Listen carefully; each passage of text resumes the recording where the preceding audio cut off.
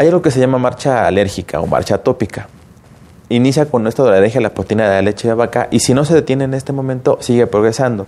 El siguiente paso sería presentar dermatitis atópica, progresa a rinitis alérgica, el paciente que está todo el día con secreción nasal transparente y sin fiebre. Y el punto final de esta marcha alérgica es el asma. De lo que se trata con esta dieta o diagnóstico temprano es detener la marcha y que el paciente solo tenga las manifestaciones de la alergia a la proteína y posteriormente que siga su vida normal sin ninguna afectación.